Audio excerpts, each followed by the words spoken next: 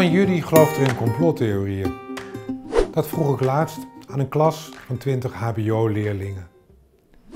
Tot mijn grote verbazing gingen alle 20 de handen in de lucht.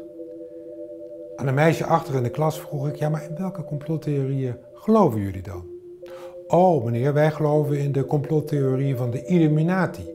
Die Illuminati, dat is een groep van mensen die al 200 jaar de wereld in zijn macht heeft. Zij bepalen wanneer er oorlog is, wanneer vrede.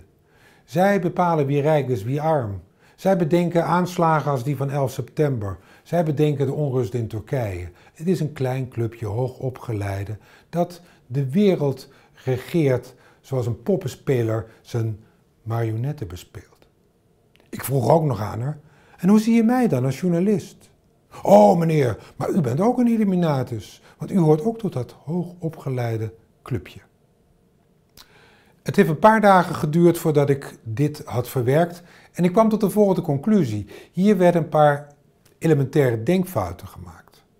Hier werd gedacht, journalist is hoogopgeleid en Illuminati is hoogopgeleid, dus journalist is Illuminatus.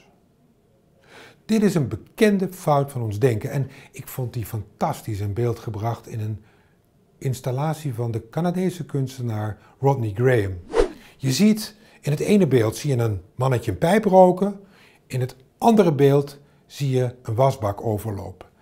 En je gaat denken, het een heeft alles te maken met het ander. Dat pijprokende mannetje is zo relaxed dat hij de boel onder laat lopen.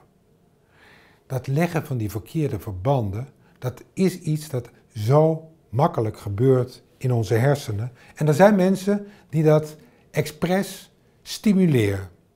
Dat is gevaarlijk, want dit is precies het begin van complotdenken.